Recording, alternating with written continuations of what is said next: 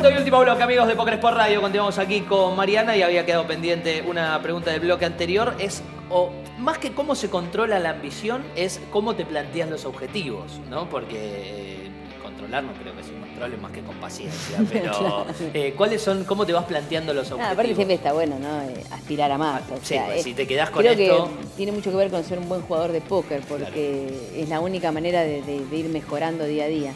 Pero bueno, como te decía, creo que lo, lo importante y lo que hago para, para no desesperarme es ponerme metas más cortas, ¿no? Ajá. Siempre metas que creo que puedo alcanzar en el corto, mediano plazo. Bien, O sea, si tengo que decirte un sueño, quiero jugar la Serie Mundial de Las Vegas. total. Es un sueño, por ahora solo un sueño, no una meta a cumplir, no.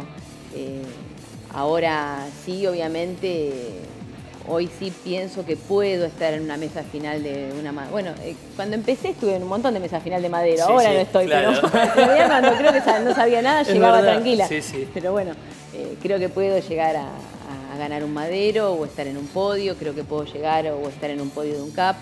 eh, y bueno, este año, ojalá, o y si no es este año, el año que viene, pueda llegar a jugar un lap, que es lo que todavía nunca jugué. Y, y bueno, que está ahí en el ambiente de póker, todo el mundo está hablando de que están haciendo torneos increíbles Sí. en, en el lap. Y, Sí, aparte también me imagino medirte con, con otros países, Claro, ¿no? Ahí sí, también sí, está sí, la- la- totalmente. Eh, calculo que ahí cambia mucho, porque hoy me siento, aunque me sienta en Rosario, aunque me sienta en Victoria o en Madero, es muy poca la gente que, que no conoces o eh, ya sabes como eh, el estilo de juego, ya sabes más, un montón de cosas, te manejas de una manera. Calculo Claro. que sentarme y de golpe tener un brasilero, un uruguayo, un mexicano, un, un yanqui, o sea, Claro. donde todo es muy diferente. Y bueno, sería, sería un lindo desafío. Y con respecto a- a- al backer, ¿elegís vos los torneos? Eh, ¿Te sugieren también? Eh, ¿Cómo Sí, creo que es un poco y un poco. Yo un tengo, poco. o sea, tengo una limitación, no es que puedo decirle, dale, Ari. Claro, me a la poner vena, Ponete las pilas, no, no. Claro. No, y estaría mal aparte que Claro. fuera así porque eh, eh, no me siento ni con la confianza de poder hacerlo, sí, sí. eh, estaría muy mal. Eh, pero dentro de, de- de- de lo que sé que es mi panorama, eh, tengo la opción de elegir. Mirá, obviamente ellos me pueden recomendar y decirme esto te conviene, esto no te conviene, pero eh, si no, la verdad que tengo una libertad total en, en decir este torneo sí, este no. claro. Bien, eh, ¿tenemos ya el que pensás de? Muy bien. Bueno, vamos a las tres fotitos Bueno. como siempre eh, para salir un poquito del póker. Vamos a la primera, por favor, producción. A ver de qué se trata lo que ha traído la producción en el día de hoy. Lespa. Mm. ¿Lo usás o en casa de herrero cuchillo de palo? No, poco y nada. Igual ahora ya no lo tengo. ¿eh? Ah, Lo ah, mirá. ya hace un año que no lo tengo. Pero Mirá. no era de. ¿No eras de- de- de utilizarlo? No, no, soy bastante vaga para todo eso. No, aparte, y por ejemplo, ves masajes, sé dar y, y hacía masajes. Sin embargo, yo no me aguanto que me hagan un masaje porque me, me pongo. No, no, me, no me puedo relajar. Todo lo contrario a lo que hacía era. No, no me, no me relaja mucho. Como que tengo ganas de levantarme. Mira. Y pero poner tipo en corrientes que están las la, la, las chicas que hacen masaje o hay gente. No, No, me hice no nunca. No, no, no, aparte no, no, eso parece que para otra cosa. No, no los veía muy interesados en el masaje, no, no. Es más, tuve al lado uno que casi se cae de la silla y no te miento, lo que te digo, no te miento, casi se cae. Yo decía, ahí sí que te van a tener que dar un masaje, pero en un hospital si te caes, pero no me parece bien. Vamos a la segunda foto, por favor, producción. El pádel. Juego, juego. ¿Sí? Bueno, hace bastante que no juego, pero jugué mucho al padre, llegué a jugar tercera. Ah, mira. Sí, sí, jugué durante 10 años, jugué un montón. Eh, Me encanta, es, ¿no? es, eh, claro, dobles es, ¿no? Es para- doble, sí, Y es siempre doble, sí. tuviste... Jugaba interclubes, Ah. sí, sí, jugué, jugué muchísimo tiempo. O sea que el alma competitiva no viene Sí, solamente siempre del hice póker, deporte, siempre hice deporte, sí, siempre me gustó mucho. Es más, ahora el póker me está arruinando la parte Claro. física y deportiva. ¿Te lo planteas eso? ¿Sabes Sí, por qué? me lo Porque nosotros- replanteo, Nosotros sí. tenemos una nutricionista los días lunes, Cecilia Romano. La veo, que la veo, la veo. Obviamente, eh, muchos de los jugadores quizá eh, nos dicen una nutricionista en un programa de póker.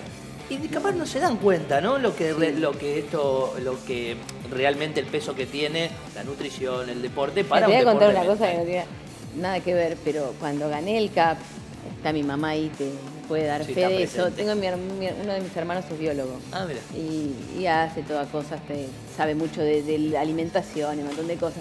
Y cuando gané, eh, me llama por teléfono y me dice, me hiciste caso a todo lo que te dije, ¿no? Porque me dijo que tenía que tomar no sé cuánto líquido. No, nada hice, absolutamente nada. Pero él está convencido y le dice a mi familia, a mis amigos, que yo gané por lo que él me dijo. Porque dice que es totalmente necesario y es muy importante para que para mantener la concentración, para tener tomar buenas decisiones, para no cansarse. En 12 horas de, juego de jornada es muy importante.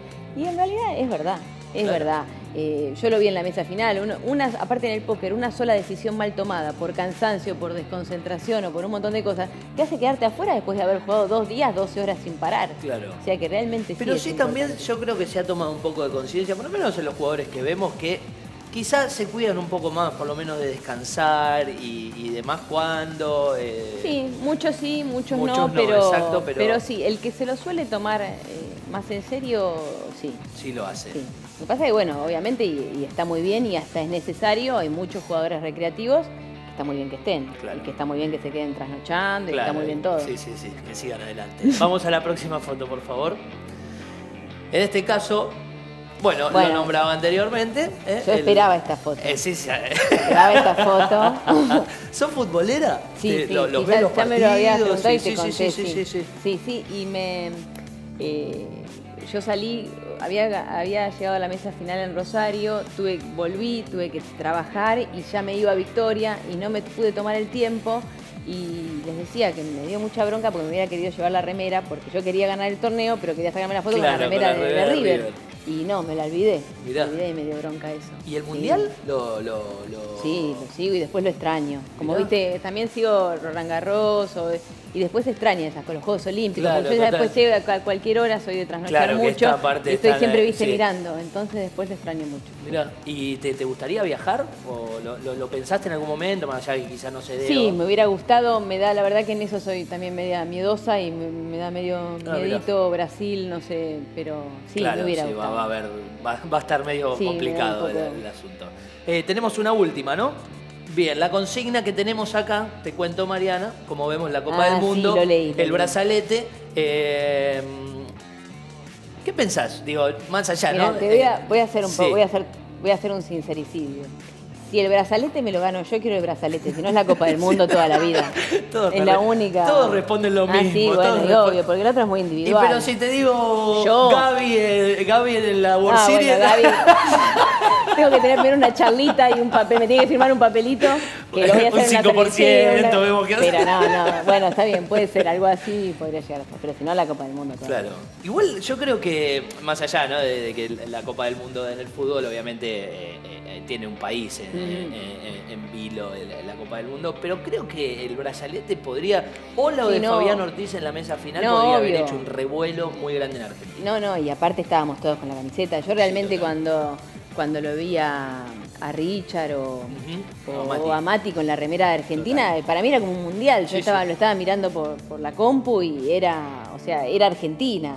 y en eso, más allá de que lo gana él y que que es totalmente individual, uno se siente parte, siempre te sentís parte. de eh, algo mundial y que te está representando, te está representando, no hay vuelta. Total. Sí. Eh, lo que sí, bueno, después eh, yo no sé cómo te llevas con el póker online.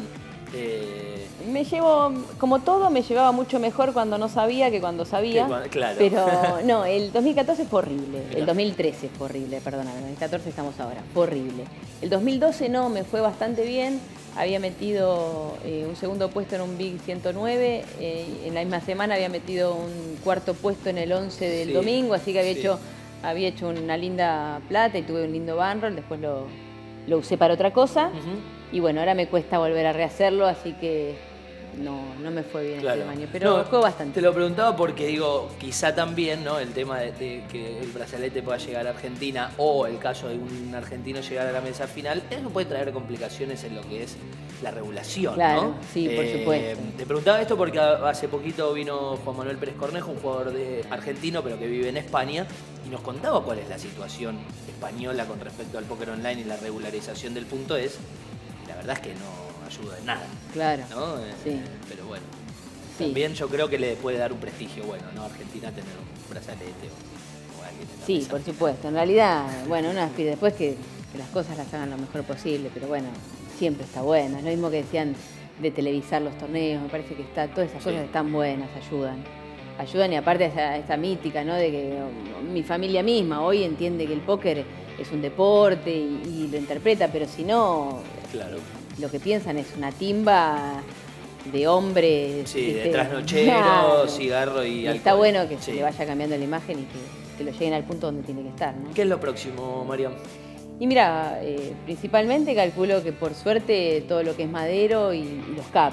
Bien. Y bueno, como te decía, ojalá tenga algún resultado lindo más para poder meter o corrientes, que bueno, es un torneazo, o algún lap. Alguno.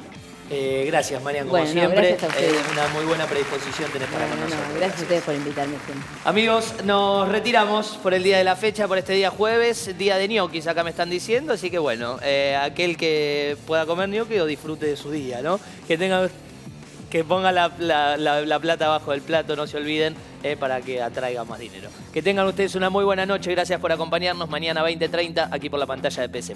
Chao.